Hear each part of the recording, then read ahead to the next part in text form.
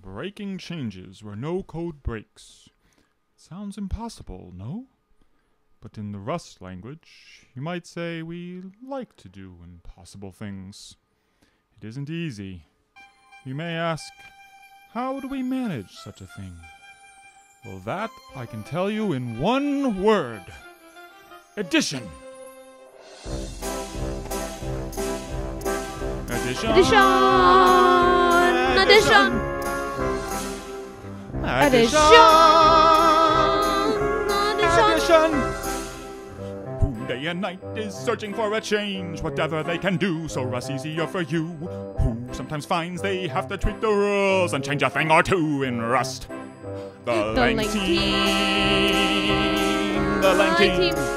Edition. Edition! The Lang Lang team. team. The Lang Lang team. team.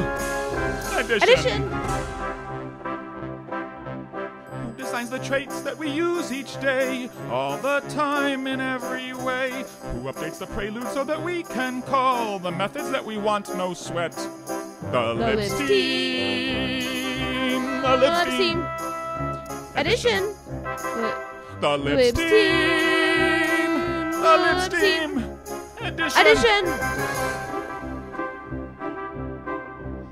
Years ago, I changed my code to Rust 2018. Some dependencies did not, but they kept working. The users. The The users. Edition. The users. The users. Edition. Edition. And who does all this work? To patch and tweak and fix, migrating all our code from each edition to the next. The tooling. Tooling. The tooling. Tooling. Edition. Edition. The tooling. The The tooling. tooling. Edition. And here in Rust, we've always had our little slogans.